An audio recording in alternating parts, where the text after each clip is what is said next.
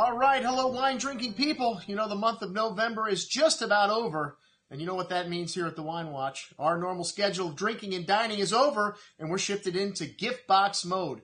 And you know, for all the tastings that we do out throughout the course of the year, the thing that makes Wine Watch truly unique is our gift box presentation. I taste through thousands of wines to get to these great wines that I've come to put in these gift boxes again this year, 2013's top selections from the Wine Watch. In addition to putting wine in a box, we also give you information about each wine. We've got a chronicle history about each and every wine that goes into our gift boxes. It also comes with a customizable gift card. We can put any message that you'd like in there. We don't send cheese and crackers and other things, just outstanding wines. And the price of these wines, just the price, this regular suggested retail price plus the cost of the box in outstanding value and speaks volumes about the sophistication of the sender.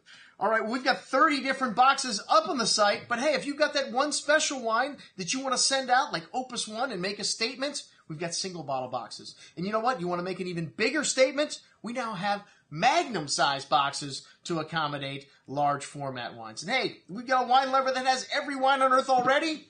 We've got Riedel glassware.